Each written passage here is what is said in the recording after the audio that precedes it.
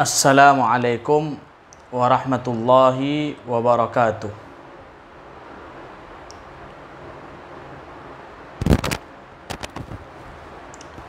بسم الله الرحمن الرحيم. الحمد لله رب العالمين. والصلاة والسلام على أشرف الأنبياء والمرسلين وعلى آله وصحبه أجمعين. سبحانك لا علم لنا إلا ما علمتنا إنك أنت العليم الحكيم. ولا حول ولا قوة إلا بالله العلي العظيم. رب اشرح لي صدري ويسر لي أمري. واحلل عقدة من لساني يفقه قولي. ربنا زدنا علما وارزقنا فهما. آمين آمين يا رب العالمين. Alhamdulillah Tuan-tuan Yang dirahmati Allah Ta'ala Tuan-tuan dan perempuan yang dirahmati Allah Subhanahu Wa Ta'ala Bersyukur kita kepada Allah Subhanahu Wa Ta'ala Kerana pada malam ini Kita dapat lagi menyambung Pengajian Kitab Sirah Ar-Rahiqul Maktum Yang dikarang oleh Syekh Safiyur Rahman Mubarak Furi Rahimahullahu Ta'ala Ha, pada malam ini kita sambung tajuk yang terakhir daripada kitab ini. Selepas kita baca atau mengaji kitab ini hampir hampir uh, 8 tahun. Hampir 8 tahun kita mengaji kitab ini dan sekarang ni kita sampai pada tajuk yang terakhir iaitu tajuk uh, sifat dan akhlak Nabi sallallahu alaihi wasallam. Sifat dan akhlak Nabi sallallahu alaihi wasallam.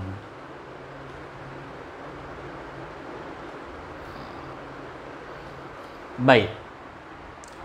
Uh, tuan-tuan dan puan yang dirahmati Allah Taala, uh, ni tajuk yang terakhir ni menceritakan secara ringkas berkenaan dengan sifat dan akhlak Rasulullah sallallahu alaihi wasallam ha, supaya selepas kita dah tahu perjalanan hidup Rasulullah sallallahu alaihi wasallam dan kita mengetahui ha, orang-orang yang ada kaitan dengan Rasulullah sallallahu alaihi wasallam para isteri baginda para uh, para uh, isteri baginda sallallahu alaihi wasallam dan juga anak-anak Rasulullah sallallahu alaihi wasallam. Ha, sekarang ini kita masuk pula berkenaan dengan sifat dan akhlak Rasulullah sallallahu alaihi wasallam. Baik, qala al-muallifu rahimahullahu taala wa nafa'ana bi ulumihi fid darain. Amin ya rabbal alamin. As-sifatu wal akhlaq. As-sifatu wal akhlaq. Baik. Um, sifat dan akhlak Nabi sallallahu alaihi wasallam. Nabi sallallahu alaihi wasallam adalah seorang yang istimewa dengan keindahan fizikal dan akhlaknya yang tidak cukup untuk digambarkan dengan kata-kata. Kehebatan peribadi baginda sallallahu alaihi wasallam itu dapat dilihat dengan hati-hati manusia yang merasa kagum dengannya. Berapa ramai orang yang sanggup berkorban jiwa raga? Demi kerana mempertahan dan membesarkan baginda sallallahu alaihi wasallam yang tak pernah dirakamkan dalam pentas sejarah dunia kepada mana-mana orang jua selain baginda sallallahu alaihi wasallam.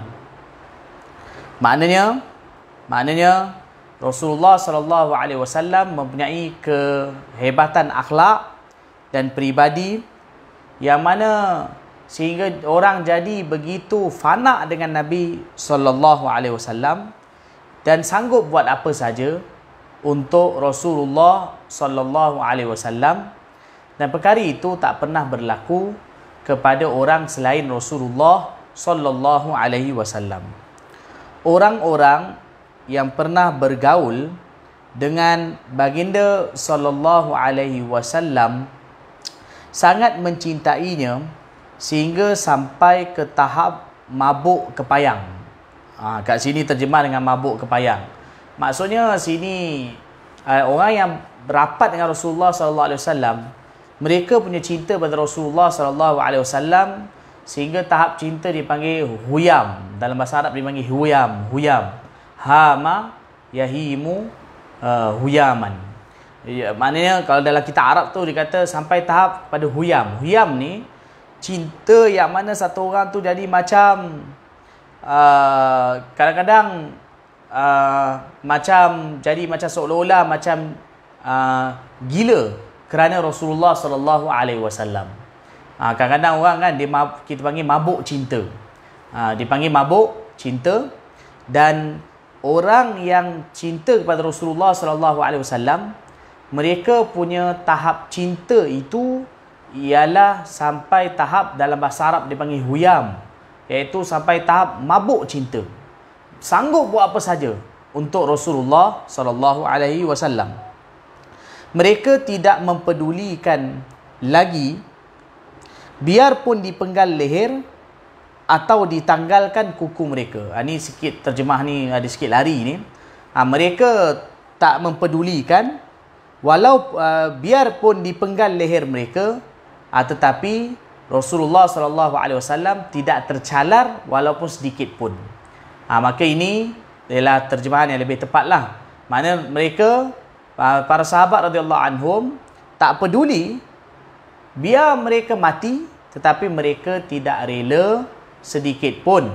Mereka tidak rela sedikit pun Rasulullah sallallahu alaihi wasallam ditusuk duri walaupun sedikit. Rasulullah sallallahu alaihi wasallam dilukakan walaupun sedikit. Mereka tak rela perkara tersebut berlaku.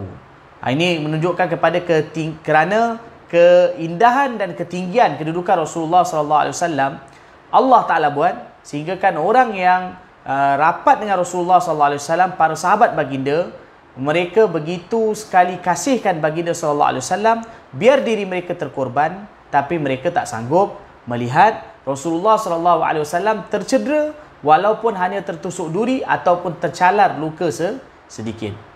Ha, sebelum ni pun kita pernah baca ha, berkenaan dengan ha, sahabat Nabi sallallahu alaihi wasallam ha, dalam peristiwa uh, Ar-Raji' ha, dalam peristiwa Ar-Raji' iaitu ha, sahabat Nabi sallallahu alaihi wasallam telah ditawan kan? Ha, sahabat Nabi sallallahu alaihi wasallam telah ditawan. Dan kemudian uh, Sayyidina Zaid bin Dathina radhiyallahu taala anhu. Uh, kemudian uh, telah ditawan dan di uh, hendak dibunuh kan hendak di dibunuh uh, jadi sebelum dibunuh sebelum dibunuh uh, diberikan tawaran kepadanya sebelum dibunuh diberikan tawaran kepadanya uh, untuk ditukarkan tempatnya dengan Rasulullah sallallahu alaihi wasallam. Waktu tu dah dibunuh dah. Dah hampir-hampir dibunuh. Tetapi apa jawab sahabat ni? Beliau kata aku tak sanggup. Aku tak sanggup. Aku dapat kembali kepada ahli keluargaku. Aku dapat bersukaria.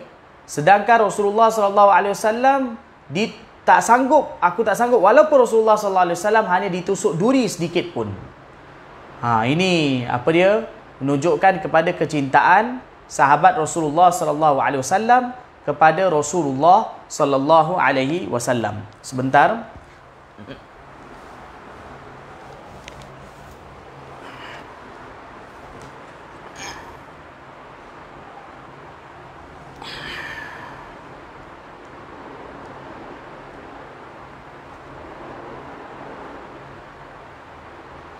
Ha, Sayyidina Khubaib bin Adi radhiyallahu anhu. Peristiwa tersebut berlaku pada Sayyidina Khubaib bin Adi radhiyallahu anhu. Mereka ditawan tu kan tiga dia asalnya tiga orang dan lepas tu seorang tu dibunuh awal Sayyidina Abdullah bin Tariq radhiyallahu anhu dan kemudian seorang lagi ialah Sayyidina Khubaib bin Adi radhiyallahu anhu. Kemudian Sayyidina uh, Zaid bin Dathinah radhiyallahu anhu. Yang saya ceritakan tu ialah kisah berkenaan dengan Sayyidina uh, Khubaib bin Adi radhiyallahu anhu sebelum beliau di, dibunuh. Baik. Ha, ini tahap bagaimana cintanya para sahabat radhiyallahu anhum kepada Rasulullah sallallahu alaihi wasallam. Kecintaan yang begitu mendalam adalah tidak lain kecintaan yang begitu mendalam adalah tidak lain kerana kesempurnaan-kesempurnaan yang ada pada diri Rasulullah sallallahu alaihi wasallam yang mempesonakan dan tidak dikurniakan kepada orang lain. Berikut adalah ringkasan berikut adalah ringkasan beberapa riwayat yang menerangkan tentang keindahan dan kesempurnaan Rasulullah sallallahu alaihi wasallam di samping kita mengakui ketidakupayaan untuk merangkumkan semua sifat kesempurnaan baginda sallallahu alaihi wasallam itu. Ha, jadi pengarang ni kata bahawa kami akan datang sedikit berkenaan dengan sedikit kesempurnaan Rasulullah sallallahu alaihi wasallam. Ha, tapi kalau nak cerita semua itu kami tak mampu. Ha, nak cerita semua terlalu banyak cerita berkenaan dengan kesempurnaan Rasulullah sallallahu alaihi wasallam. Ha, para ulama yang mengarang tentang Rasulullah sallallahu alaihi wasallam ini ha, maknanya begitu banyak tak habis. Dan mereka itu pun sampai ke hari ini ulama terus lagi mengarang tentang Rasulullah sallallahu alaihi wasallam. Jadi kitab berkenaan dengan kesempurnaan baginda sallallahu alaihi wasallam ni yang paling ma'ruf iaitu kitab Syama'il lah. Kitab Syama'il. Jadi para ulama karang kitab Syama'il para ulama tentang Rasulullah sallallahu alaihi wasallam. Para ulama juga karang kitab uh, sirah Nabi macam kita baca ni. Uh, sirah Nabi dia beribu kitab yang mengarang tentang sirah Nabi. Kemudian para ulama juga karang tentang khususiat Rasulullah sallallahu alaihi wasallam. Uh, khususiat macam contohnya kita Imam Suyuti rahmatullah alaih. Beliau karang kitab Al-Khasa'is, Al-Khasaisul Kubra. Uh, selain daripada itu Imam Suyuti juga ada karang uh, Syama'il, Syama'il yang ringkas tentang Rasulullah wasallam Asy-Syama'ilus Syarifah. Jadi begitu banyak para ulama yang mengarang tentang Rasulullah wasallam. Jadi ini menunjukkan kepada kemuliaan dan keagungan Rasulullah wasallam. Ha, sekarang ni pengarang kitab ni datangkan dulu ha, berkenaan dengan apa dia? keindahan fizikal. Ha, atau dalam bahasa Arab dipanggil jamalul khalq. Keindahan fizikal Rasulullah sallallahu alaihi wasallam. Kalau kita nak lihat keindahan Rasulullah sallallahu alaihi wasallam ini, kita boleh bahagikan kepada tiga. Keindahan Rasulullah sallallahu alaihi wasallam, kecantikan ataupun keelokan pada Rasulullah sallallahu alaihi wasallam itu kita boleh bahagikan kepada tiga. Ha, boleh bahagikan kepada tiga. Ha, satu ialah keindahan fizikal. Ha, dipanggil jamalul khalq. Keindahan fizikal ataupun jamalul surah pun bolehlah. Ha, fizikal Rasulullah sallallahu alaihi wasallam.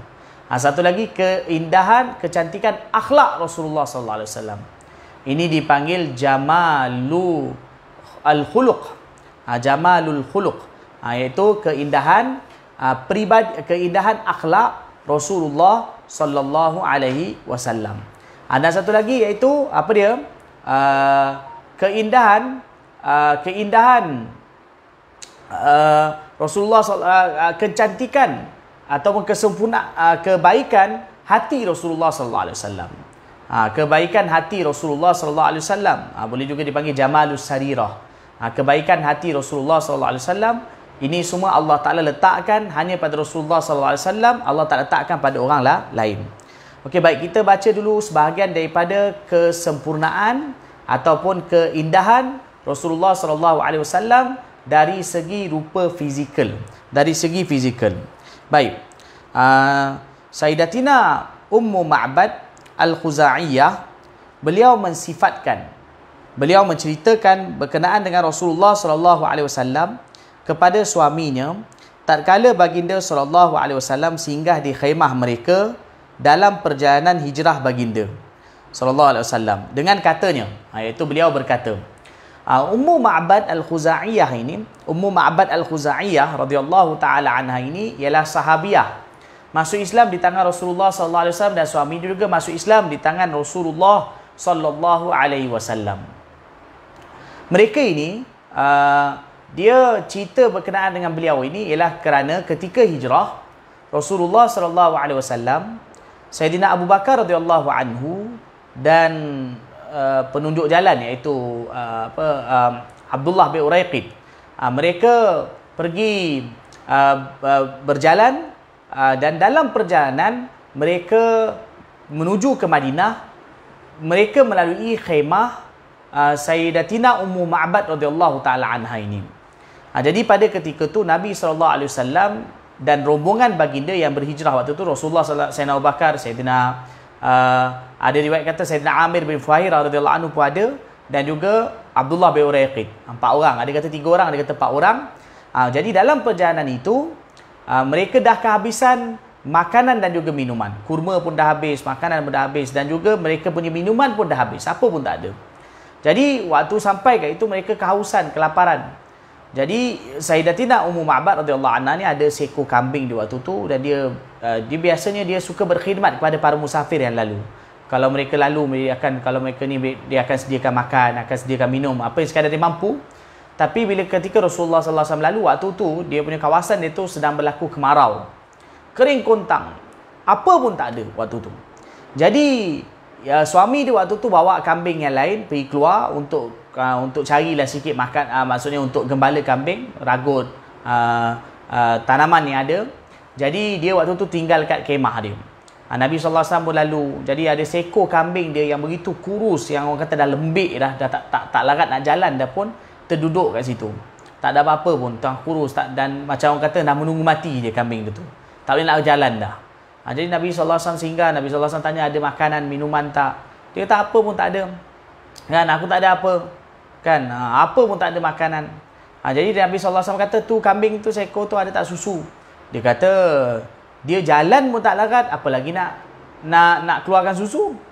Jalan pun tak larat bagaimana susu nak keluar? Ha, jadi Nabi SAW minta izin dengan dia. Dia kata kalau dia keluar kalau aku nak ambil susu dia boleh nak perah susu dia. Kau izin dengan tak? Dia kata silakan. Dia kata silakan. Ni kambing mana ada susu kan? Ha, jadi dalam otak dia mungkin terfikir dalam fikiran dia mungkin dia fikir ni confirm tak ada susu ni lah. Ha, Nabi SAW pun minta supaya kambing tu dibawa di hadapan Nabi SAW. Baginda SAW telah memegang kantung susu kambing tu baginda SAW baca Bismillah. Baginda usap, baginda SAW baca Bismillah.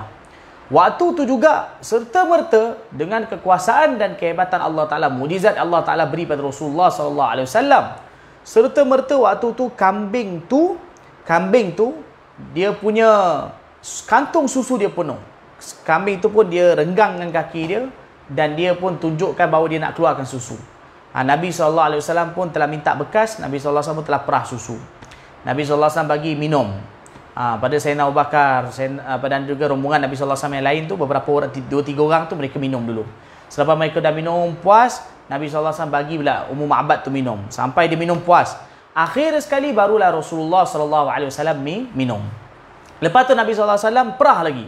Sampai penuh bekas tu Nabi wasallam tinggalkan untuk dia dan kemudian Nabi alaihi wasallam teruskan lagi perjalanan.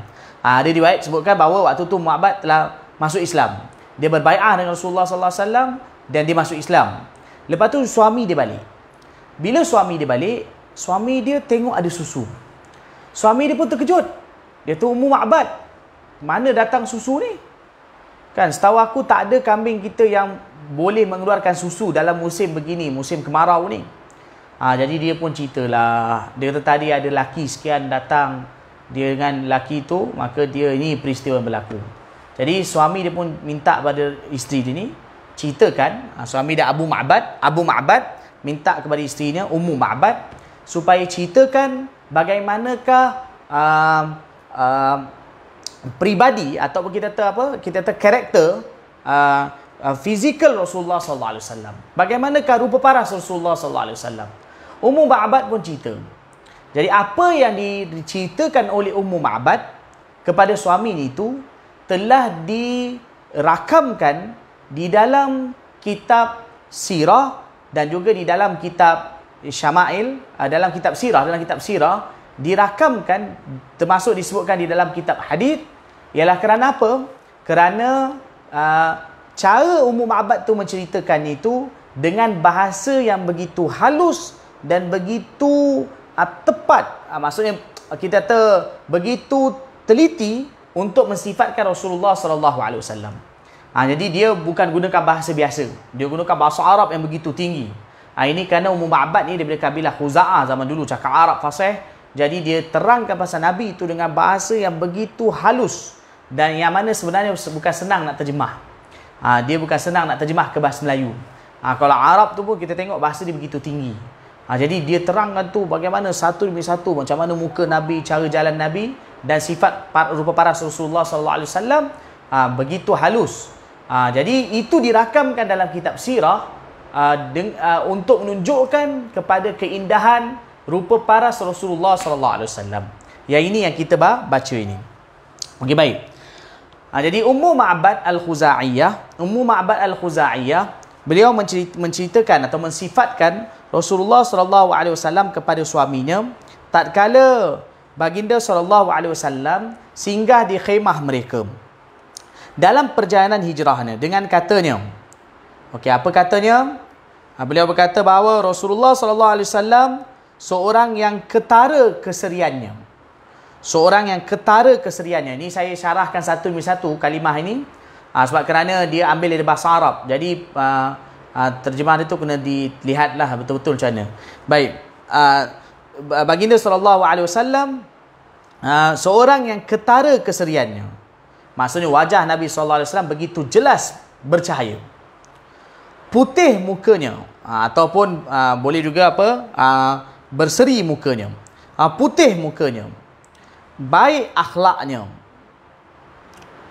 Tidak merasai beban oleh badan yang besar ha, tidak merasai beban oleh badan yang besar. Ha, ini kalau dalam bahasa Arab dia panggil lam ta'ibuhu thujlah.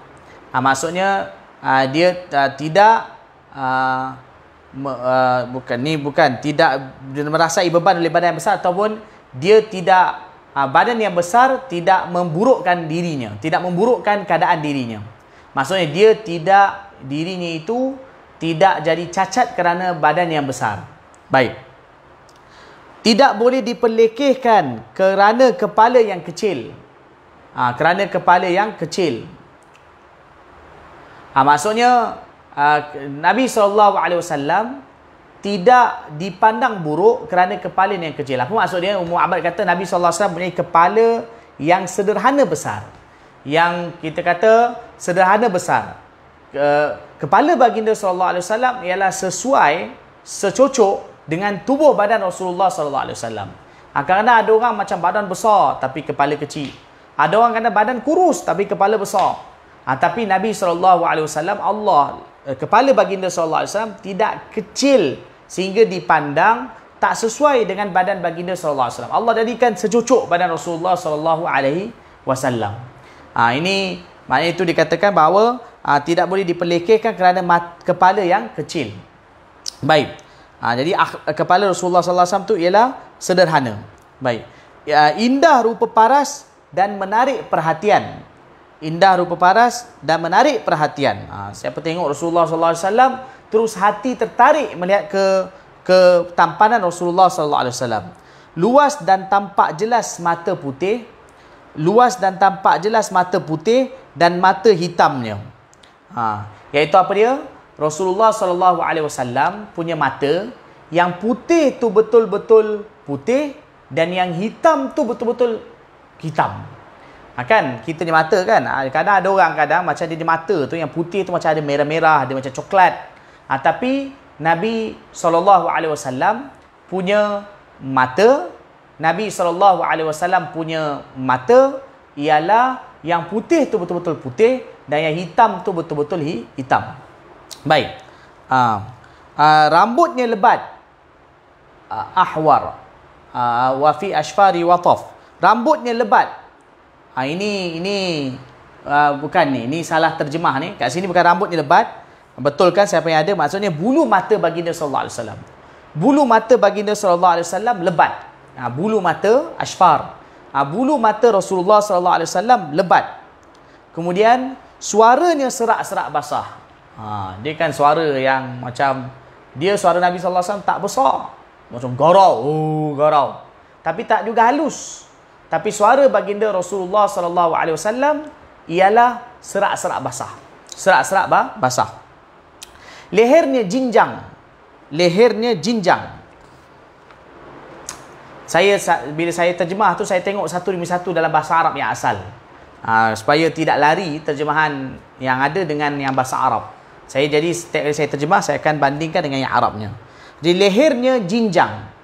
Lehernya jinjang mata hitamnya sangat ketara. Mata hitamnya sangat ketara. Kemudian uh, kat sini tampak urat lengannya. Tampak urat lengannya. Tampak urat lengannya. Alisnya nipis. Oh ni ada tertinggal ni. Ha, ni ada yang ter tertinggal. Tapi tak apa. Tampak urat lengannya. Alisnya nipis. Uh, oh ini. Saya lihat terjemahan dia. Ada yang kurang uh, tepat. Saya ambil daripada kitab Arab dan saya akan terjemah satu demi satu. Baik. Okey, saya ulang semula terjemah dia daripada suara baginda sallallahu alaihi wasallam tu eh. Okey. Suara baginda sallallahu alaihi wasallam wa fi sautihi sahal. Suara baginda sallallahu alaihi wasallam serak-serak basah. Wa fi unuqi sata. Uh, leher baginda sallallahu alaihi wasallam jinjang. Ahwaru akhalu. Uh, ahwaru iaitu mata Rasulullah sallallahu alaihi wasallam seperti tadi juga yang hitam begitu hitam dan yang putih itu begitu putih. Putih uh, putih cerah. Dan mata Rasulullah sallallahu alaihi wasallam seperti nampak bercelak ha, padahal Rasulullah sallallahu alaihi wasallam tak pakai celak ha, baginda ada pakai celak tapi baginda sallallahu alaihi wasallam kalau tak pakai celak pun tapi mata Rasulullah sallallahu alaihi wasallam tu nampak seperti bercelak ha, kan orang kadang pakai celak nak bagi cantik mata kan? Pakai celak ni biasanya untuk nak bagi mata cantik. Rasulullah sallallahu alaihi wasallam punya mata begitu cantik baginda tak pakai celak pun tapi nampak seolah macam pakai celak. Ha, sebab Rasulullah SAW biasa pakai celak waktu nak tidur. Ha, dalam hadis pada sebutkan perkara tersebut. Okey, azajju aqran. Ha, Rasulullah SAW punya uh, mata ialah uh, melengkung. Ha, baginda SAW punya mata, alis mata Rasulullah SAW ialah melengkung macam busar panah tu. Melengkung. Ha, uh, kening baginda, maaf. Kening baginda SAW ialah melengkung akran. Ialah uh, hampir-hampir nak maksudnya melengkung dan uh, hampir-hampir nak bersambung. Tetapi tidak bersambung. Uh, tidak bersambung. Dia melengkung dan kemudian uh, di sini adanya terpisah. Dan ada bulu nipis yang uh, seolah-olah macam di antara dua kening tersebut. Uh, akran. Uh, syadidu sawadi sya'ar uh, rambut baginda sallallahu alaihi wasallam begitu hitam. Uh, rambut baginda sallallahu alaihi wasallam hitam pekat. Ida samata alahul waqar. Apabila baginda sallallahu alaihi wasallam diam, jelas kewibawaan baginda Rasulullah sallallahu alaihi wasallam. Wa idza takat wa in takallama alahul baha. Dan bila baginda sallallahu alaihi wasallam berbicara, jelas tampak pada Rasulullah sallallahu alaihi wasallam kehebatan. Baha ni maksudnya kemegahan. Bila baginda sallallahu alaihi wasallam diam, nampak kewibawa. Bila baginda sallallahu alaihi wasallam cakap, nampak kehebatan baginda sallallahu alaihi wasallam. Ajmalun nasi wa abahahum min ba'id. Ha, baginda sallallahu alaihi wasallam apabila dilihat daripada jauh sangat indah dan sangat tampan. Wa ahsanu wa ahlahu min qarib. Baginda sallallahu alaihi wasallam begitu ha, kita kata kacak dan begitu uh, manis rupa parasnya apabila dilihat daripada dekat, ha, dekat. Ha, maknanya kalau daripada jauh nampak Rasulullah wasallam tampan. Nampak satu orang yang begitu uh, seperti pendekar. Tapi kalau kita hampir maka lihat baginda wasallam begitu kacak, begitu tampan. Uh, hulwul mantiq. Ha, tutur bicara baginda wasallam manis. Fadlun la nazrun wala hadarun. Ha, tutur bicara baginda wasallam ialah uh, tutur bicara yang baik tutur bicara yang perlu, yang baik, yang perlu. Tak kurang dan tidak juga meleret sehingga jadi macam merepek. Ha, maknanya Nabi SAW cakap tepat-tepat. Apa yang perlu banyak tu Rasulullah SAW cakap. Dan segala yang baginda SAW cakap semuanya berfaedah. Tidak ada yang tidak berfaedah.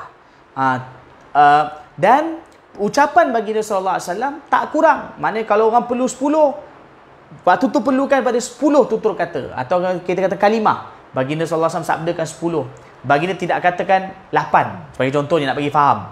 Ha, dan tidak juga meleret panjang. Ha, itu ucapan baginda wasallam. Ka'anna mantiqahu kharazatun nudhimna yatahaddarna. tutur bicara baginda wasallam ialah seperti butir-butir mutiara yang tersusun yang berleretan turun. Ha, macam contohnya seolah-olah macam tutur bicara baginda sallallahu alaihi wasallam itu seperti contoh kata satu orang dia merangkai maksudnya macam tasbih kan merangkai tu. Tasbih kemudian dipotong. Bila dipotong turun satu demi satu. Satu demi satu uh, manik mutiara tu, biji mutiara tu turun. Ha, maka begitulah uh, umum uh, ma'bad mensifatkan tutur bicara Rasulullah sallallahu alaihi wasallam. Raba'atun Baginda SAW sederhana tinggi. La tuqhimu ainun min qisarin wa la tashna'uhu min tul. Ha, baginda SAW sederhana tinggi. Ha, tidak ada tidak ada mana-mana mata yang pandang jelik kepada Rasulullah SAW kerana rendah dan tidak juga memandang hina kepada Rasulullah SAW kerana tinggi. Ha, maksudnya maksudnya iaitu Rasulullah SAW punya mata punya uh, punya ketinggian ialah uh, tidak terlalu tinggi sampai dipandang buruk dan tidak di, uh, begitu rendah sehingga dianggap hina. Ha, itu ketinggian Rasulullah SAW. Baginda SAW sebenarnya kalau ikut kita tinggilah. Tapi tinggi baginda SAW tak sampai macam kita kata tinggi macam tiang elektrik. Kadang ada orang tinggi kan kurus kita nampak tinggi betul. Kadang kita pun pandang tak cantik tinggi tinggi betul. Macam nampak tiang elektrik kita kata. Ada orang kadang rendah sangat. Kita kata ketot kan? Ha, ketot rendah. Ialah itu kita tak boleh nak usahakan. Orang tinggi orang rendah itu bukan boleh dia pilih. Itu ketetapan Allah Taala. Ha, tapi ini ialah Allah pilih untuk Rasulullah SAW rupa paras yang paling cantik rupa paras yang paling cocok yang mana itu menunjukkan kepada kesempurnaan yang Allah Taala telah tetapkan untuk Rasulullah sallallahu alaihi wasallam. Baik. Uh, uh, kemudian husnun baina husnain. Uh, beliau kata bahawa baginda seperti satu ranting di antara dua ranting. Uh, satu ranting antara dua ranting ni maksudnya satu ranting yang sekarang contohnya ranting yang panjang yang gemuk, satu lagi ranting yang uh, ranting yang kurus. Iaitu nak beritahu Rasulullah sallallahu alaihi wasallam ini ialah sederhana. Baginda sallallahu alaihi wasallam ialah sederhana uh, tinggi. Fa wa anzaru fa wa anzaru thalathati manzaran. Uh, Ummu Ma'bad kata bahawa di antara tiga orang itu baginda sallallahu alaihi wasallam lah yang paling menarik perhatian. Ha, kan waktu tu Nabi sallallahu alaihi wasallam kan datang dengan tiga orang. Ni kalau menurut riwayat tiga orang iaitu Nabi sallallahu alaihi wasallam Sayyidina Abu Bakar radhiyallahu anhu dan dan uh, Abdullah bin Uraiqid penunjuk jalan. Jadi Ummu Ma'bad kata antara tiga orang tu yang paling menarik perhatian ialah Rasulullah sallallahu alaihi wasallam. Wa ahsanuhum qadran dan dialah kedudukan yang paling baik, kedudukan yang paling tinggi antara mereka bertiga. Lahu rufaqa'u yahufu nabi. Ha, dia mempunyai teman-teman yang sentiasa me, me, apa, mendampinginya ataupun mengelilinginya.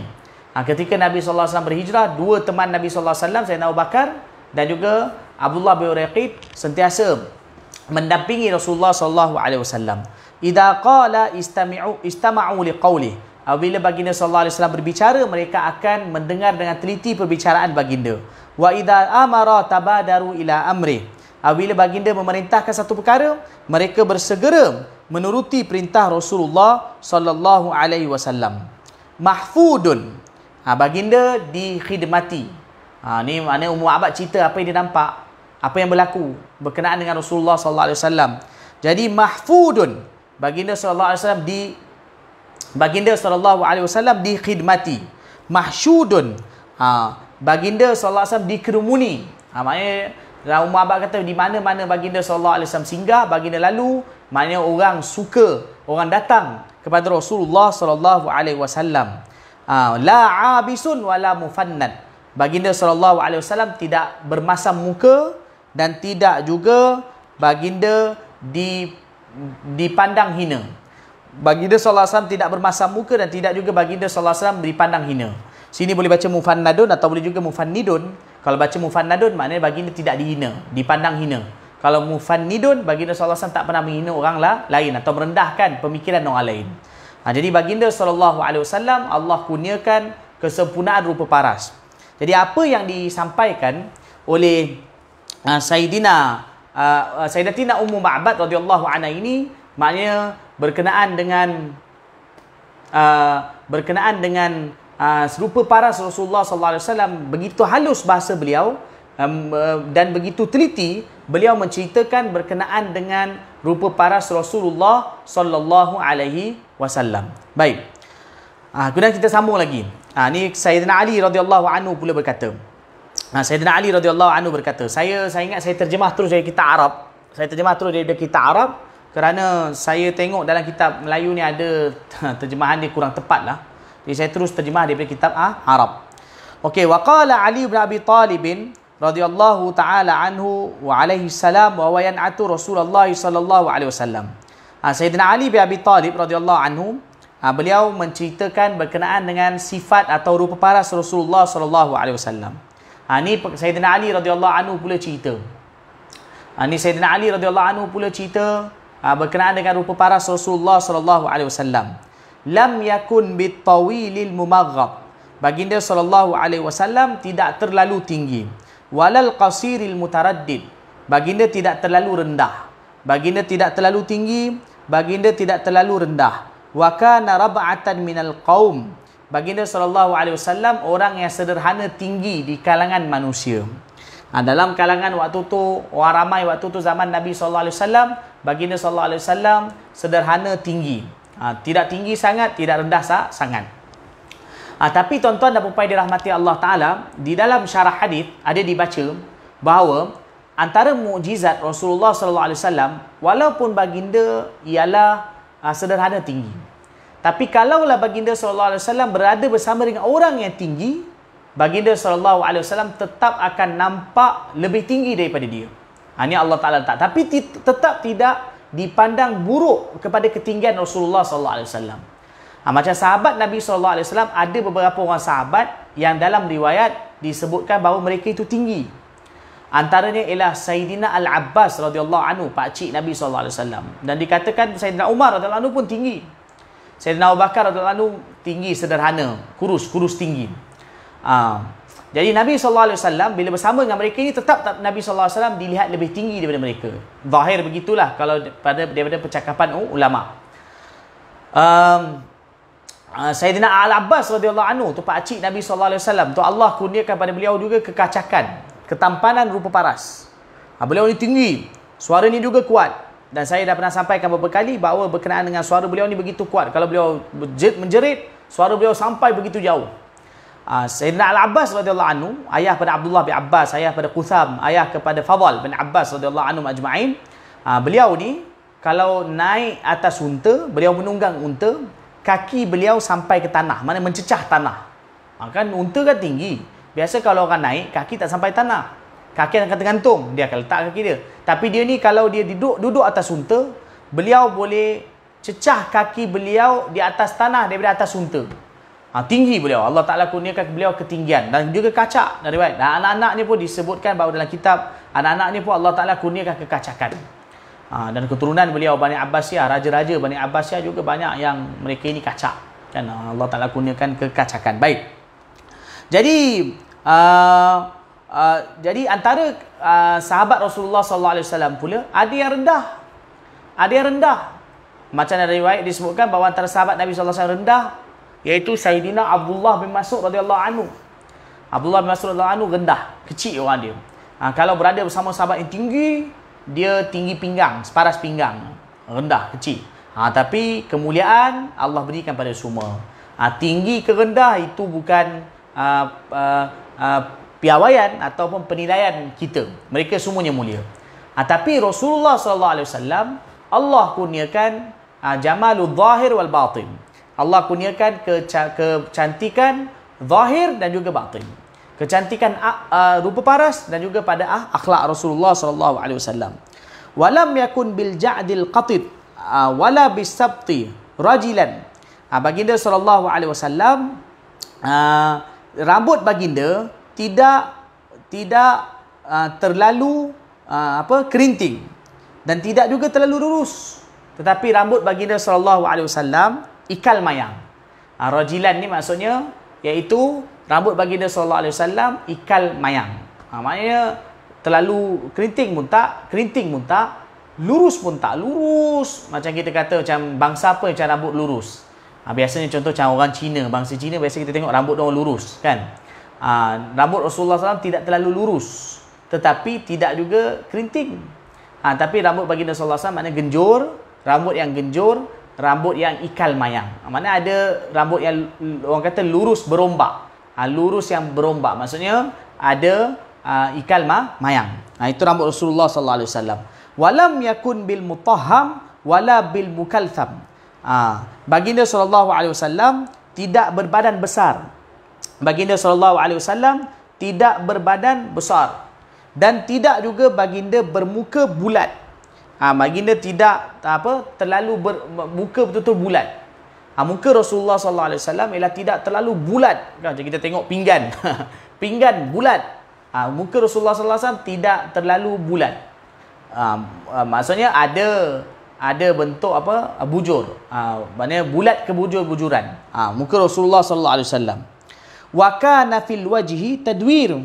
Ha, maknanya wajah Rasulullah sallallahu alaihi wasallam tidak terlalu bulat tetapi ada ha, sedikit bulat. Maksudnya kita kata uh, wajah Rasulullah sallallahu alaihi wasallam uh, saya terangkan tadi iaitu uh, apa uh, bulat yang mana ada uh, bujur bulat yang uh, bulat kebujuran macam itulah lebih kurang terjemah dia wa kana abyadha musyraban baginda sallallahu alaihi wasallam putih kemerah-merahan.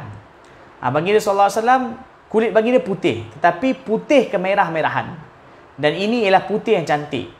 Ha, bukan putih kuning ada orang putih betul. Ada orang ada putih kuning. Ha, ada orang putih, kita tahu macam kuning langsat. Ha, tapi baginda SAW putih kemerah-merahan. Ha, sebab itu kadang bila baginda SAW baring, bila baginda SAW bangun, dekat belakang baginda SAW merah. Ha, putih kemerah-merahan. Ada ajal ainain. Ha, baginda SAW mempunyai potongan mata yang begitu cantik. Ahdabal ashfar. Bulu mata Rasulullah SAW lebat. Jalilal musyashi wal katat. Ha, baginda SAW mempunyai tulang, tulang tulang-tulang sendi baginda wasallam ialah tulang yang uh, nampak uh, sasa. Uh, tulang sendi, tulang-tulang uh, apa tulang uh, uh, Rasulullah sallallahu alaihi wasallam ialah nampak sasa.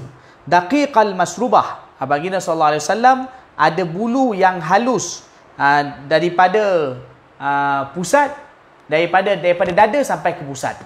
Daripada dada sampai ke pusat ada bulu yang halus. Baik. Ajrada dada Rasulullah sallallahu alaihi wasallam bersih, licin dan tidak ada bulu yang tebal. Ha, dada Rasulullah SAW tidak ada bulu yang tebal. Syathnul kaffaini wal qadamain.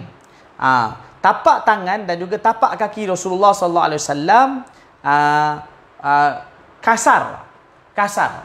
Kasar di sini ialah maksudnya uh, iaitu uh, tangan baginda sallallahu alaihi wasallam maknanya kita tak ada lembut dan juga ada macam kasar ada sikit agak kasar. Tapi bukan maknanya keras tetapi macam agak kasar. Baik. Ha, mungkin di sini timbul pertanyaan ha, dalam hadis tadi bagi tahu bahawa Sayyidina Anas radhiyallahu anhu beliau kata tangan Rasulullah SAW begitu lembut macam sutera. Ha, bahkan dalam riwayat itu bagi tahu lebih lembut daripada sutera. Hadis riwayat Sayyidina Anas bin Malik radhiyallahu anhu bagi tahu bahawa ha, tangan Rasulullah SAW lebih uh, halus daripada sutera. Ha, macam mana pula kat sini kata macam kasar? Ha, ini para ulama ada jelaskan bahawa ha, maksudnya ha, ada kala ketika Rasulullah SAW macam buat kerja apa semua kan jihad mungkin ada gali parit dan sebagainya. Jadi waktu tu tangan Rasulullah SAW jadi macam kasar. Tapi bila dah lama tangan Rasulullah SAW jadi macam jadi halus balik. Jadi begitu ha halus. Yang saya Anas bin Malik radhiyallahu anhu bagi tahu tu keadaan tangan Rasulullah SAW pada waktu biasa. Baik. Ida masya taqalla'a ka'annama yamshi fi sabab.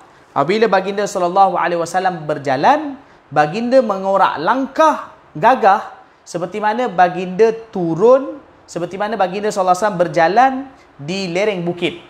Ha, baginda wasallam punya jalan laju. Bila baginda mengorak langkah, baginda wasallam mengorak langkah dengan mengangkat sepenuh kaki, bukan mengheret kaki, dan baginda bergerak begitu uh, laju seperti seolah turun daripada lereng bukit. Baik. Wa idzal tafata iltafata ma'an. Apabila baginda sallallahu alaihi wasallam menoleh, baginda menoleh keseluruhan badan. Ha, kan ada orang kadang bila menoleh depan macam ni dia tengok kan kadang-kadang kawan panggil dia. Kan Abdullah maka pandang macam ni kadang kita pandang, pandang macam ni. Ha, tapi Rasulullah sallallahu alaihi wasallam begitu menghargai dan memuliakan orang lain. Jadi apa dia? Bila satu orang panggil Rasulullah sallallahu alaihi wasallam, baginda satu pertama tawaduk dan baginda sallallahu alaihi wasallam menghargai orang lain. Baginda akan pandang keseluruhan badan baginda. Maknanya baginda akan tulis seluruh badan baginda sallallahu alaihi wasallam. Baginda dengan muka dan juga badan. Ha, itu yang dimaksudkan idzal tafata iltafata ma'an. Keseluruhan badan Rasulullah sallallahu alaihi wasallam. Padahal sebenarnya tidaklah salah satu orang kalau panggil kita kita cakap dengan dia pandang macam ni. Tapi Rasulullah sallallahu alaihi wasallam memuliakan orang lain dan tawaduk Rasulullah sallallahu alaihi wasallam bila baginda uh, berbicara dengan orang ataupun baginda uh, menumpukan perhatian pada seseorang baginda akan me, uh, mengalihkan keseluruhan badan ke arah orang tersebut. Baina katifaihi khatamun nubuwah wa wa khatamun nabiyyin. Ha, di antara dua apa ni di antara dua bahu Rasulullah sallallahu alaihi wasallam ada cok mohor kenabian dan dia ialah cok mohor uh, penutup bagi segala nabi uh, cok mohor kenabian dia dekat uh, dalam uh, Imam Baijuri rahmatullah alaih ada terangkan dan juga Imam Mulla Ali Qari rahmatullah alaih terangkan bahawa cok mohor tersebut di belakang badan Rasulullah sallallahu alaihi antara bahu di belakang sikit dan dia ialah ke arah kiri sedikit maksudnya di belakang ni dia ke arah kiri sedikit Ha, dia di belakang ni. Maksudnya ni ni ha, ni kanan ni kiri ha, di belakang ha, uh, hati. Ha, hati belah kiri di belakang hati. Jadi uh, uh, di situlah apa nama um, apa bukan hati apa nama ni jantung jantung kiri jantung kan. Ha, jadi qalb qalb di belakang tu. Jadi di situ ialah uh, cok mohor kenabian. Ha, dia macam seolah macam satu uh, Uh, daging yang timbul di belakang uh, Rasulullah sallallahu alaihi wasallam. Baik, khatamun nabiyyin, khatamun nubuwah. Ajwadun nasi kaffan. Baginda sallallahu alaihi wasallam orang yang paling pemurah. Wa ajraun nasi sadran. Baginda sallallahu alaihi wasallam orang yang paling lapang dadanya. Ha, makna baginda sallallahu alaihi wasallam orang yang begitu hatinya begitu baik. Wa asdaqun nasi lahjah. Orang yang paling benar pertuturannya. Baginda SAW orang yang paling benar pertuturannya. Cakap tak pernah tipu. Nabi SAW tak pernah tipu sama ada sebelum jadi Nabi ataupun lepas jadi Nabi. Ha, bahkan para ulama menyebutkan berkenaan dengan semua para Nabi. Semua para Nabi sama ada sebelum jadi Nabi atau lepas jadi Nabi mereka tak pernah melakukan tipu. Tak pernah bercakap tipu. Ha, tak pernah kidab. Tak pernah melakukan dusta. Ha, sifat wajib para nabi yang kita biasa belajar dalam kitab akidah tu apa dia? Sidiq kan? Amanah kan? Ha, ha, dan juga fatanah. Ha, itu kesemuanya itu wujud pada para nabi dan juga rasul tabligh. Ha, sifat-sifat tersebut memang dah ada pada diri anbiya alaihi wassalam lebih lagi pada Rasulullah sallallahu alaihi wasallam sama ada sebelum jadi nabi dan Rasul atau selepas jadi Nabi dan Rasul. Itu memang Allah pelihara mereka. Baik. Wa asdaqun nasi lahjan. Wa aufan nasi dimmatan. Ha, baginda SAW orang yang paling menunaikan tanggungjawab. Wa alyanuhum arikah. Baginda SAW orang yang paling lemah lembut dalam pergaulan. Ha, orang yang paling lemah lembut dalam pergaulan dengan manusia. Wa akramuhum ishrah. Baginda SAW paling memuliakan paling memuliakan manusia. Orang yang paling mulia memuliakan manusia. Dalam per, per, apa isyrah ni maksudnya dalam uh, apa kita kata per, pertemuan dan per, apa uh, uh, uh, pendampingan dengan orang lain baginda sallallahu alaihi wasallam paling memuliakan mereka. Man ra'ahu badihatan habahu wa man khalatahu ma'rifatan ahabba baginda sallallahu alaihi wasallam yang uh, maaf orang yang baru melihat baginda sallallahu alaihi wasallam maksudnya orang kata baru first time Baru pertama kali melihat baginda sallallahu alaihi wasallam sepintas lalu. Orang yang melihat baginda sallallahu alaihi wasallam kali pertama sepintas lalu dia akan terus merasa uh, gah terhadap Rasulullah sallallahu alaihi wasallam. Dia akan terus rasa kehebatan, gah Rasulullah sallallahu alaihi wasallam pada baru pertama kali tengok. Bahkan dalam hati ni macam rasa macam uh, kita kata macam kita tergerun tengok ni. Ha, kadang-kadang kan berlaku kan. Kadang berlaku kadang-kadang kita jumpa uh, ada alim Ahlul Bait. Maksud siapa? Para orang soleh kadang. Kita tengok di kali pertama kadang hati kita macam rasa uh, gugup. Macam tak tahu nak cakap apa. Ha, dia panggil timbul haibah. Haibah dalam terhadap orang tersebut dalam hati kita. Maka begitulah. Orang yang tak duduk rapat dengan Rasulullah SAW macam baru first time jumpa. Uh, tengok Nabi SAW sebentar lalu terus rasa ter, ter uh, tancap dalam hati dia betapa hebat dan uh, gagahnya orang ni. Ha, tapi apabila dia bergaul dengan Rasulullah sallallahu alaihi wasallam dan dia mengenali Rasulullah sallallahu alaihi wasallam secara rapat, maka pasti dia akan kasih kepada Rasulullah sallallahu alaihi wasallam. Ha, tapi bila duduk dengan Nabi, Nabi bercakap dengan Nabi sallallahu alaihi wasallam, ha, waktu tu barulah dia rasa ha, betapa Nabi dia cinta kepada Rasulullah sallallahu alaihi wasallam. Yaqulu na'itu lam ara qablahu wala ba'dahu mithlahu sallallahu alaihi wasallam. Ha, Sayyidina Ali radhiyallahu anhu kata penutup beliau. Apa kata penutup beliau? Beliau kata siapa yang tengok Nabi dan cerita pasal Nabi? Siapa yang tengok Nabi dan cerita pasal Nabi? Pasti akan dia kata apa? Aku tak pernah tengok orang macam Nabi sama ada sebelum ni atau lepas ni.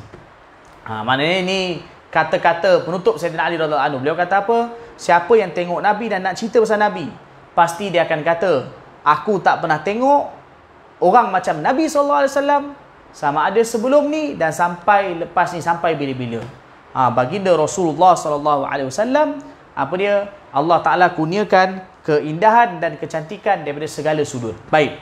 Wa fi riwayatin anhu annahu kana dhakhmar ra's, dhakhmal karadis, tawil al masrubah, idza masya takaffa'a takaffiyan ka'annama yanhattu min Adalah riwayat yang lain daripada Sayyidina Ali radhiyallahu anhu bahawa beliau menceritakan Rasulullah sallallahu alaihi wasallam punya kepala baginda sallallahu alaihi wasallam uh, kepala baginda sederhana besar. Baginda SAW mempunyai kepala yang sederhana besar. Dalam riwayat ini beritahu kepala besar. Besar di sini maksudnya, kepala baginda SAW sederhana besar yang cocok dengan potongan badan Rasulullah SAW. Kemudian, ah, tulang tulang sendi baginda SAW agak besar dan timbul. Ini maksudnya menunjukkan pada sifat pendekar. Kan, macam kita katakan, kalau orang kan bila dia buka badan baju dia, Kadang-kadang ada orang yang dia buka badan dia. Macam contohnya kadang bodybuilder, bodybuilder. Dia buka badan dia. Baju dia. Kadang dia punya badan dia dekat dekat tulang-tulang tu macam nampak. Kan? Ha, nah satu nampak muscle dia. Ha, kita tahu otot-otot dia nampak muscle. Otot-otot dia nampak. Satu. Ha, satu lagi ialah macam tulang dia. Tulang sini.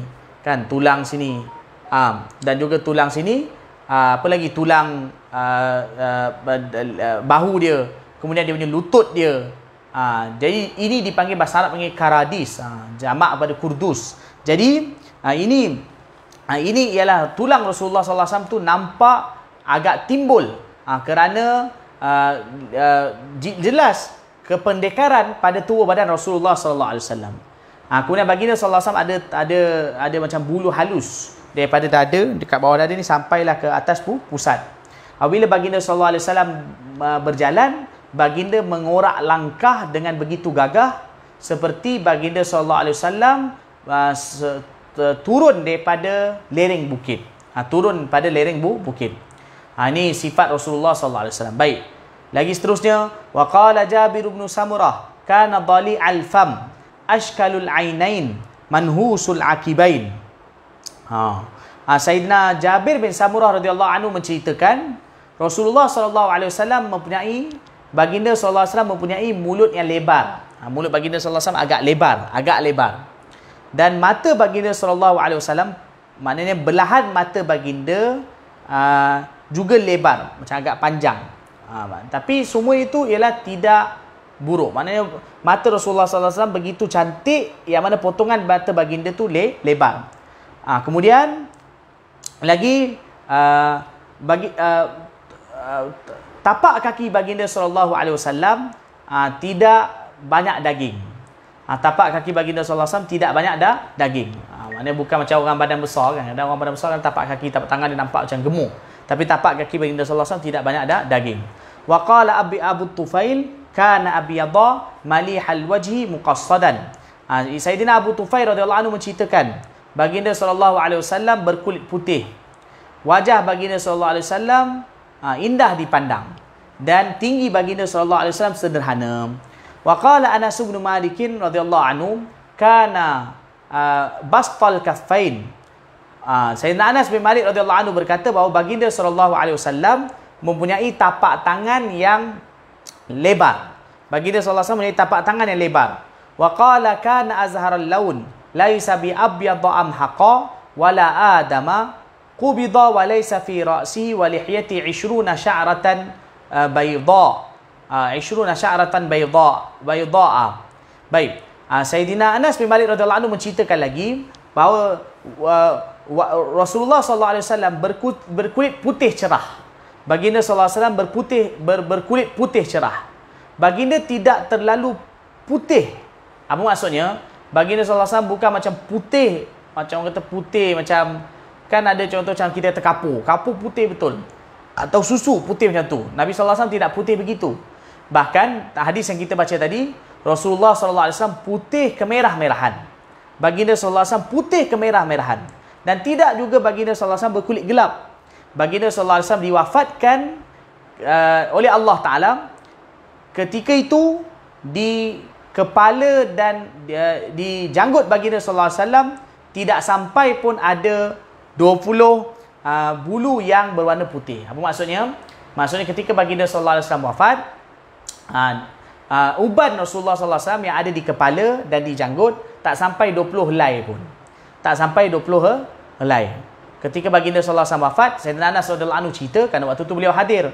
Waktu tu beliau ada. Beliau kata ketika baginda sallallahu alaihi wasallam wafat, uh, uban yang ada di kepala dan janggut Rasulullah sallallahu alaihi wasallam tak sampai pun 20 helai. Wa qala inna ma kana syai'un ay min syaibi fi sudghai wa fi riwayatin wa fi ra'si wa fi ra'si nabdun. Ha, uh, Sayyidina Anas radhiyallahu anhu menceritakan hanya senyum uban Rasulullah sallallahu alaihi wasallam yang ada itu dekat pelipis Rasulullah sallallahu alaihi wasallam dekat tepi ni. Ha ni sudrai. Sudrai ni dekat sinilah, dekat sini ada sikit uban Rasulullah sallallahu alaihi wasallam dan satu lagi dekat kepala ada sikit uban Rasulullah sallallahu alaihi wasallam. Ha, maksudnya beliau menceritakan ketika baginda sallallahu alaihi wasallam wafat uh, di kepala dan janggut Rasulullah sallallahu alaihi wasallam tak sampai pun 20 helai uban. Dan yang ada itu pun uban itu ada sikit dekat pelipis ni, kat pelipis dan yang lain di kepala ada sedikit beberapa helai beberapa helai maknanya baginda sallallahu alaihi wasallam wafat uh, sampai waktu wafat pun Rasulullah sallallahu alaihi wasallam waktu tu dah berusia 60 tahun lebih tapi uban baginda sallallahu alaihi wasallam begitu sedikit yang boleh dikira. Baik. Wa qala abu juhaifa radhiyallahu anhu raaitu bayadan tahta syafati sufla al anfaqah ha, sayyidina abu juhaifa radhiyallahu anhu menceritakan aku melihat aku melihat bahawa ada uh, sedikit uban ada sedikit uban di bawah uh, bibir baginda sallallahu alaihi wasallam yang bawah. Maksudnya di di bawah bibir Rasulullah sallallahu alaihi wasallam iaitu di anak janggut baginda sallallahu alaihi wasallam. Mana kat sinilah ni anak janggut ni. Kan anak janggut ni kat sini di sini di anak janggut ni uh, Sayyidina Abu Juhaifah radhiyallahu anhu berkata bahawa di situ aku nampak ada sedikit uban. Uh, jadi bermakna uh, uban yang ada di di di, di uh, muka Rasulullah sallallahu alaihi wasallam makna satu dekat kepala ada sikit, dekat pelipis ada sikit dan juga ada sedikit di uh, anak janggut Rasulullah sallallahu alaihi wasallam. Wa qala Abdullah bin Busr radhiyallahu anhu kana fi anfaqati sya'ratun biyad. Ha, Sayyidina Abdullah bin Bisr uh, bin Busr radhiyallahu anhu menceritakan di anak janggut Rasulullah sallallahu alaihi wasallam terdapat beberapa helai uban.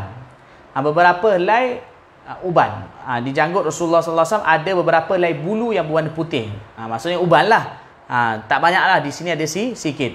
Wa qala al-Bara radhiyallahu anhu kana marbu'an. Ba'ida, boleh baca ba'ida atau bu'aida. Ba'ida ma bainal mankibain. Lahu sya'run yablughu syahmata udunai. Ra'aituhu fi hullatin hamra. Lam ara syai'an qattu ahsana minhu. Allahu Akbar. Baik, kita baca sikit lagi. Sayyidina Barak radhiyallahu anhu, Barak ni Sayyidina Barak bin Azib radhiyallahu taala anhu, beliau menceritakan Rasulullah sallallahu alaihi wasallam ah, sederhana tinggi. Dada baginda sallallahu alaihi wasallam bidang.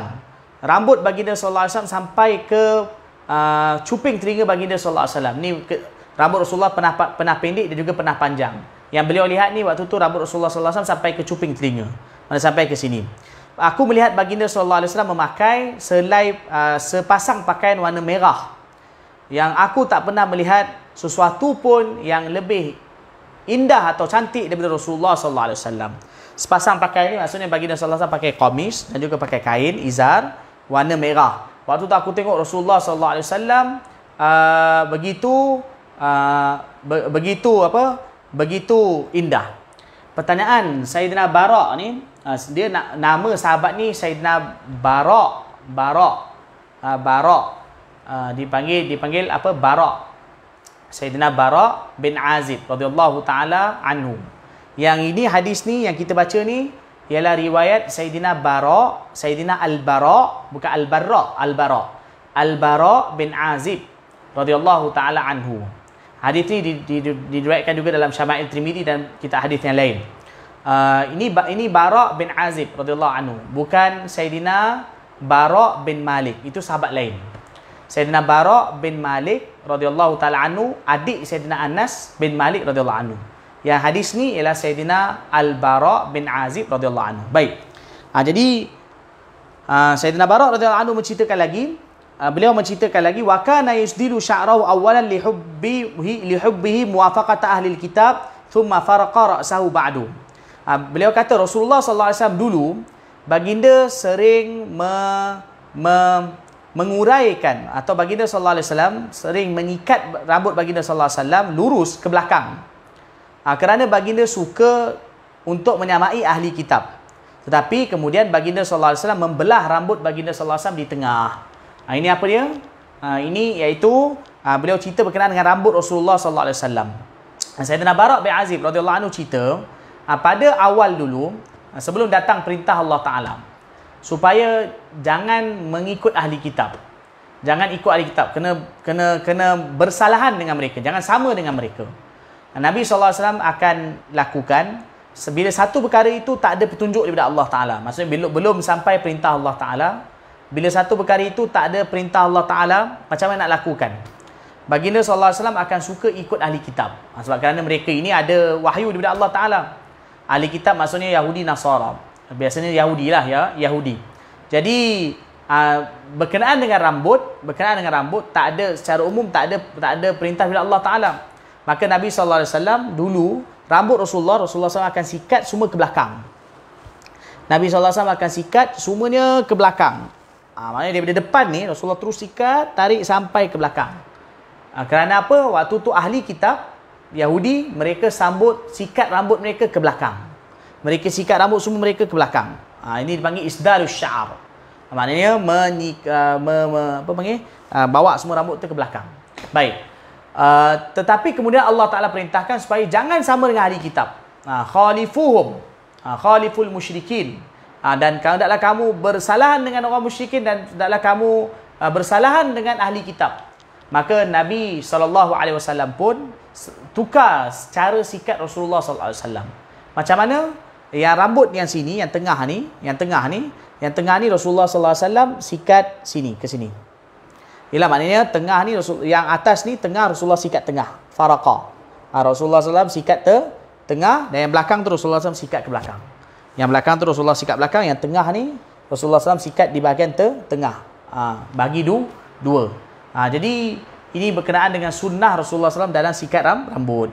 Ha, so, di sini tuan-tuan dan puan dirahmati Allah Ta'ala, satu perkara yang saya nak sentuh, satu perkara yang saya nak sentuh juga di sini, kita tengok eh, para sahabat anhum para sahabat anhum ajmain mereka setiap sudut uh, setiap inci kita kata setiap inci uh, berkenaan dengan Rasulullah wasallam mereka akan cerita. Walaupun benda tu benda yang halus sebenarnya kecil dan bukan saja mereka cerita bahkan mereka juga akan beramal akan ikut apa yang Rasulullah wasallam lakukan uh, dan orang yang betul-betul cinta dengan Rasulullah wasallam juga perlu ikut Rasulullah wasallam. Ha, dia cinta bukan cakap je. Ha, kalau orang tu tak ambil sunnah, ambil berat tentang sunnah Rasulullah wasallam, rambut Rasulullah wasallam pun dia cuba ikut. Maksudnya apa? Tersampai kepada cara sikat rambut Rasulullah wasallam. Ha, kan? Ha, ini saya saya sebut ni tuan-tuan dan puan dirahmati Allah Taala. Kerana saya lihat guru-guru saya, contohnya para ulama di India dan Pakistan, mereka cukup ambil berat sunnah Rasulullah wasallam. Dan apa yang saya sampaikan ni saya tak mengatakan tempat lain para ulama tak ikut sunnah Nabi. Kita lihat juga di tempat lain. Para ulama begitu ambil berat untuk ikut sunnah Rasulullah wasallam. Contohnya para, para ulama Yaman dan di tempat lain. Tetapi uh, apa yang dilihat sini depan mata kepala yang saya pernah tengok uh, para ustaz saya mereka sikat rambut pun akan tiru cara Rasulullah sallallahu alaihi wasallam. Apa yang mereka baca daripada hadis mereka sikat rambut begitu. Ha, jadi jadi ha, ada yang saya lihat ustaz saya bila dia sikat rambut ha, kemudian dia akan sikat rambut tengah ni. Kemudian yang belakang tu dia sikat ke belakang. Dan waktu tu bila anak murid lihat dia akan beritahu dia kata Rasulullah SAW sikat rambut macam ni. Ha, jadi kita dapat belajar sunnah Rasulullah SAW daripada para guru yang ambil berat sunnah Rasulullah SAW. Ha, jadi kerana tu orang yang cintakan Rasulullah SAW, rambut dia pun, cara sikat rambut pun dia akan ambil berat. Ha, macam satu lagi saya nak saya suka juga sentuh, ha, maaf tetapi jangan marah apa saya sentuh. Ha, juga kadang macam cara potong rambut. Ha, cara potong rambut, cara potong rambut kita. Ha, kadang-kadang orang beragama kadang kita potong rambut kan. Ada rambut tak macam-macam jenis potong rambut lah kan. Ada flat top lah, ada tak sama kita potong rambut kan. Ha, kadang-kadang para ulama mereka sebut perkara ini. Ha, macam, saya dulu masa belajar juga para ulama sebutkan bahawa ha, Rasul ha, cara potong rambut yang sunnah ialah sama. Kalau semua sama, sama semua. Maksudnya kalau botak, semua botak lah. Ha, kalau nombor satu, semua satu, nombor satu. kan? Ha, dan kemudian nombor dua, nombor dua semua. Sama. Ha, bukan sini panjang, sini sini ada panjang, tebal apa semua. Ha, itu disebutkan sebagai qazak. Dan ini adalah makruh. Ha, qazak adalah makruh kan ha, mana potong rambut tak sama ha, jadi orang yang terutamanya orang beragama ha, sebaik-baiknya lagi-lagi lah kalau ustaz. Ha, sebaiknya juga cara potong rambutnya juga ialah mengikuti sunnah Rasulullah sallallahu alaihi wasallam. Saya sentuh ini kerana kita baca tentang rambut Rasulullah sallallahu alaihi wasallam. Ha, kemudian berkenaan dengan panjang rambut Rasulullah sallallahu alaihi wasallam tu berbezalah. Rambut Rasulullah SAW pernah panjang dan pernah juga pendek. Ada panjang dan ada juga pen, pendek. Ha, pernah sampai sini, pernah juga bawah, pernah juga ada ni. Tapi rambut Rasulullah SAW tidak sampai begitu panjang sampai me, apa panggil? Sampai melepasi bahu, sampai mele, menyentuh bahu dan atau melepasi bahu. Ha, rambut Rasulullah SAW panjang paling panjang sampai sini. Ha, pernah juga pendek, pernah juga sampai sini. Ha, jadi pernah juga Nabi SAW mencukur rambut Rasulullah SAW ketika nusuk, ketika ha, haji. Okey baik. Sambung lagi. Ha, jadi kemudian Sayyidina Barak radhiyallahu anhu berkata lagi, Sayyidina Barak radhiyallahu anhu berkata lagi, ah, Rasulullah wasallam ialah orang yang paling indah wajahnya dan baginda sallallahu alaihi wasallam yang paling indah akhlaknya, paling baik akhlaknya. Ha, macam saya sebutkan tadi, ha, Sayyidina Barak radhiyallahu anhu cerita, Rasulullah sallallahu alaihi wasallam punya wajah paling indah, paling handsome dan daripada segi akhlak pula paling cantik, paling baik.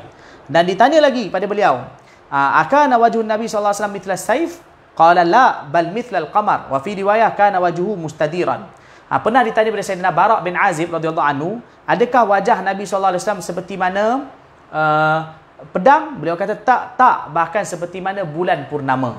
Wajah Rasulullah wasallam seperti bulan, seperti bulan purnama. Ha, bukan macam pedang. Pedang macam panjang, panjang. Nampak kalau terkena cahaya maka akan jadi macam apa? Macam jadi uh, bersinar. Tapi wajah wajah Rasulullah sallallahu alaihi wasallam uh, apa? Seperti mana bulan, bercahaya seperti bulan. Ha, dan wajah Rasulullah sallallahu alaihi wasallam bulat. Ha, ni saya dah terangkan tadi bulat tu maknanya bulat yang kebujur-bujuran. Okey. Wa qalat Rubai' binti Muawwid law ra'aitau ra'aita asy-syamsa tali'atan. Ha, Sayyidatina Rubai' binti Muawwid. Ha, Sayyidatina Rubai' binti Muawwid bin Afra. Ha, radhiyallahu taala anhuma beliau menceritakan bahawa kalau kau lihat Rasulullah sallallahu alaihi wasallam seolah-olah kau lihat seperti matahari sedang matahari sedang terbit. Ha, wa qala Jabir bin Samurah ra'aitu fi lailatin idhiyanin faj'altu anzuru ila Rasulillah sallallahu alaihi wasallam wa ila al-qamar wa alaihi hullatun hamra fa idza wa ahsanu 'indi min al-qamar Sayyidina Jabir bin Samurah radhiyallahu anhu menceritakan aku pernah melihat pada satu pada aku pernah melihat Rasulullah sallallahu alaihi wasallam pada malam bulan purnama. Ha, pada satu malam Rasulullah wasallam kata uh, Sayyidina Jabir bin Samurah tengok Nabi wasallam pada malam bulan purnama. Waktu tu malam bulan purnama. Beliau kata aku lihat Rasulullah wasallam dan lihat kepada bulan purnama. Ketika itu baginda wasallam memakai sepasang pakaian warna merah. Dan aku lihat bahawa baginda wasallam lebih indah daripada bulan purnama. Mana aku tengok Nabi, aku tengok Nabi, aku tengok bulan purnama. Aku tengok Nabi, aku tengok bulan purnama. Aku lihat kan, aku lihat sesungguhnya Rasulullah wasallam lagi indah daripada bulan purnama kan sallallahu alaihi wasallam. Subhanallah. Okey baik uh, ni uh, sikit lagi kita baca dua ni okey waqala abu hurairah waqala abu hurairah radhiyallahu anhu sayyidina abu hurairah radhiyallahu anhu menceritakan aku tak pernah melihat sesuatu pun yang lebih indah daripada Rasulullah sallallahu alaihi wasallam. Seolah-olah matahari uh, bergerak di wajah Rasulullah sallallahu alaihi wasallam. Dan aku tak pernah melihat aku tak pernah melihat mendapati seseorang pun yang lebih laju berjalan melebihi Rasulullah sallallahu alaihi wasallam. Seolah-olah bumi dilipat untuk Rasulullah sallallahu alaihi wasallam. Dan pernah pernah mana biasanya berlaku uh, kami akan susah payah untuk mengejar Rasulullah sallallahu alaihi wasallam tetapi baginda sallallahu alaihi wasallam tidak pun susah payah. Maksudnya apa dia? Ha, maksudnya Nabi sallallahu alaihi wasallam kami berjalan dengan Nabi. Kami seolah macam kejar Nabi. Nabi sallallahu alaihi wasallam jalan relax dia. Ha, Nabi sallallahu alaihi wasallam jalan laju. Tapi bila kami kejar Nabi sallallahu alaihi wasallam, kami macam dah mengah dah. Tapi Nabi sallallahu alaihi wasallam tak ada pun macam mengah. Ha, maknanya Nabi sallallahu alaihi wasallam relax dia. Ha, tapi Nabi sallallahu alaihi wasallam bergerak berjalan laju. Sahabat Allah kadang terpaksa berlari anak untuk kejar Nabi sallallahu alaihi wasallam. Sedangkan Nabi SAW jalan relax dia. Ha, tak ada pun mengah. Ha, ini apa dia? Ha, antara mukjizat Rasulullah SAW juga. Atau boleh kata khususiat Rasulullah SAW. Baik.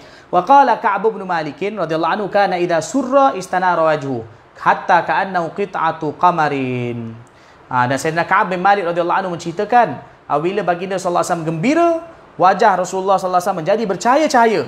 Seolah-olah wajah Rasulullah wasallam potongan bulan purnama. Potongan bulan. Seperti mana seperti mana belahan bulan. Ha, begitulah wajah Rasulullah sallallahu alaihi wasallam. Ya Allah ya Allah ya Allah ha, arina wajah nabiyika Muhammadin sallallahu alaihi wasallam fi dunya wal akhirah. Ya Allah perlihatkanlah kepada kami berilah kami peluang untuk tengok wajah Rasulullah sallallahu alaihi wasallam di dunia dan juga di akhirat dan tempatkanlah kami semua ya Allah. Di di dunia di akhirat nanti bersama Rasulullah sallallahu alaihi wasallam para ahlul bait para uh, para sahabat para siddiqin para syuhada para salihin. Wa hasuna ulaika rafiqa. Baik. Alhamdulillah tuan-tuan dan puan-puan Allah kita berhenti dulu kat situ. Kita berhenti dulu kat situ. Nanti kita akan sambung uh, berkenaan dengan apa yang Sayyidatina Aisyah radhiyallahu anha cerita tu. Uh, kita berhenti dulu di di situ. Baik uh, tuan-tuan dan puan-puan yang dirahmati Allah taala. Tuan-tuan dan puan yang dirahmati Allah Subhanahu wa taala. Uh, saya nak sentuh sedikit berkenaan dengan uh, sebelum kita tutup majlis insya-Allah kita sekarang ni dalam bulan Zulhijjah uh, malam ni malam uh, malam ni malam hari ni hari uh, besok Sabtu. Sabtu uh, Isnin 9 8 uh, malam ni malam 7 Zulhijjah malam ni ialah malam 7 Zulhijjah uh, besok 7 Zulhijjah dan 8 Zulhijjah Kemudian hari Isnin insya-Allah 9 Zulhijjah. Ha, sekarang ni kita berada dalam bulan Zulhijjah. Dalam hadis tadi diberitahu bahawa ma min ayyamin al-amalu salihu fiha ahabbu ila Allah min hadhihi al-ayyam, yani ayyam al-ashr. Ha, Nabi sallallahu alaihi wasallam beritahu bahawa tidak ada mana-mana hari yang amal soleh lebih disukai oleh Allah Taala melebihi daripada 10 hari daripada awal bulan Zulhijjah. Maka bila para sahabat radhiyallahu anhu bertanya wahai Rasulullah, jihad pun tak dapat menandingi amalan soleh dilakukan pada awal bulan Zulhijjah. Nabi SAW kata jihad pun tak. Jihad pun tak dapat menandingi amalan soleh yang dilakukan dalam awal bulan Zulhijjah ini. Ha, kecuali Nabi SAW beritahu, kecuali satu orang yang keluar, berperang, jihad jalan Allah Ta'ala, dengan harta dan diri dia kemudian syahid. Ha, itu ganjaran dia begitu tinggi. Pastilah begitu hebat. Baik. Ha, jadi tuan-tuan dan puan-puan dirahmati Allah Taala, sekarang kita berada dalam bulan Zulhijjah ini, maka kita tingkatkan amal soleh kita.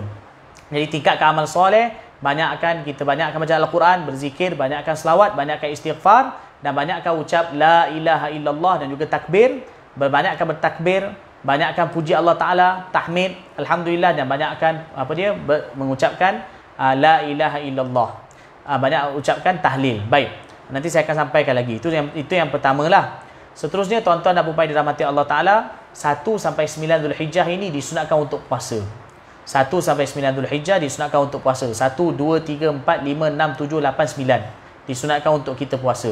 Dan yang paling ditekankan ialah puasa pada dua hari, iaitu puasa pada 8 Zulhijjah kalau kita ayat had ni dan juga puasa pada 9 Zulhijjah iaitu hari Arafah. Ha, yang paling besar tu puasa pada hari Arafah. Ha, jadi kalau boleh jangan tinggal puasa 8 dan 9 Zulhijjah ni. Kalau 8 tu susah nak puasa, paling tinggal paling kurang jangan tinggalkan puasa pada 9 Dhul Hijjah tersebut. Iaitu apa dia? Ha, hari Isnin ni insya-Allah. Kalau ikut tarikh kita hari Isnin ni insya-Allah 9 Dhul Dhul Hijjah.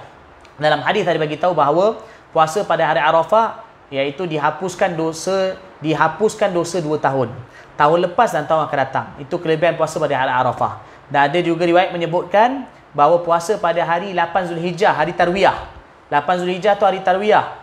Diampunkan dosa setahun, tahun lepas.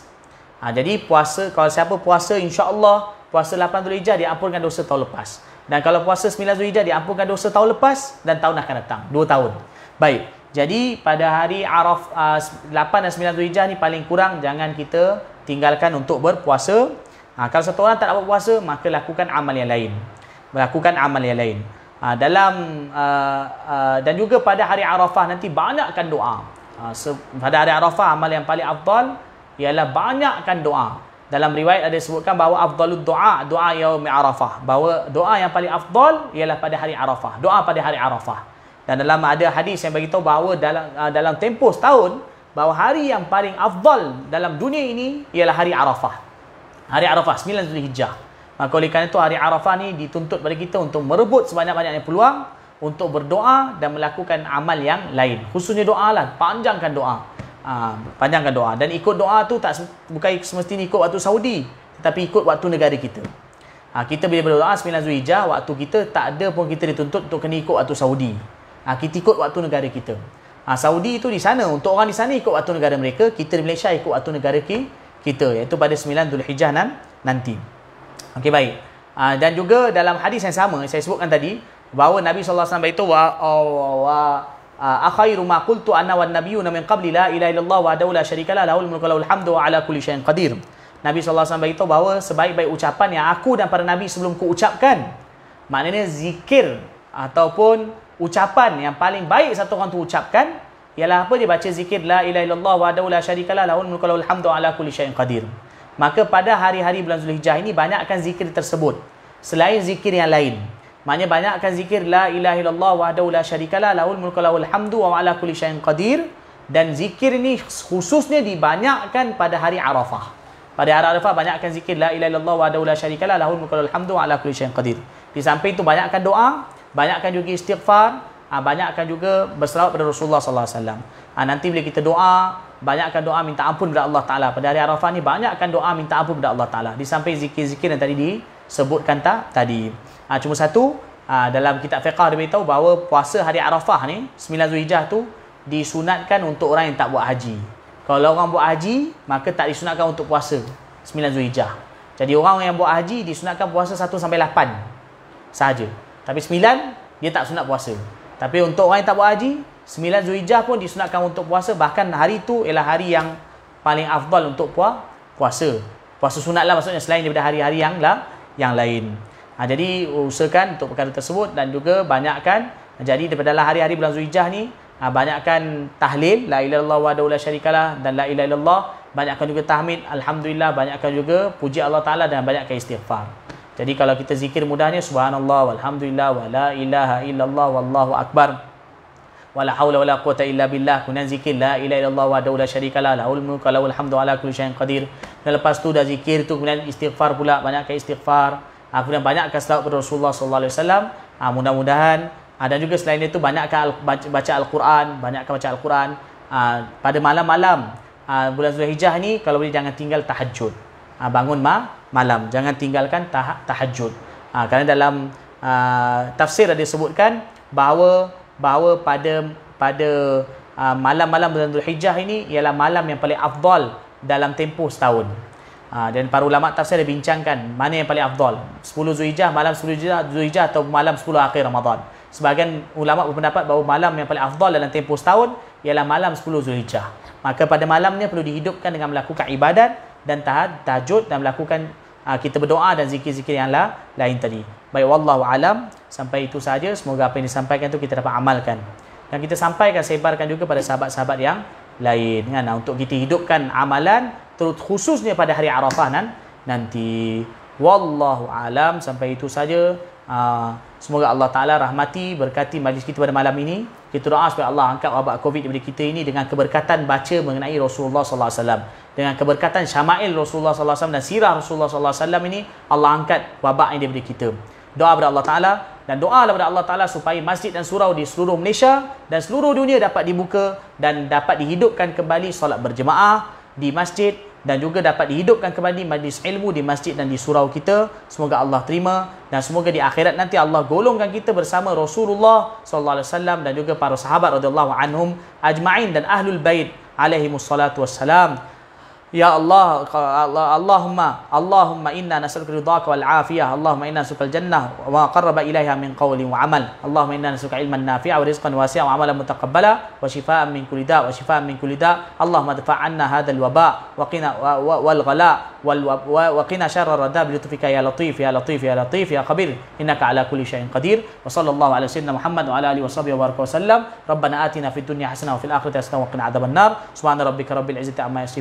وسلام على المرسلين الحمد لله رب العالمين. سبحان الله وبحمده سبحانك اللهم وبحمدك أشهد أن لا إله إلا أنت نستغفرك ونتوب إليك. بسم الله الرحمن الرحيم. والعصر إن الإنسان في خسر إلا الذين آمنوا وعملوا الصالحات وتواصوا بالحق وتواصوا بالصبر.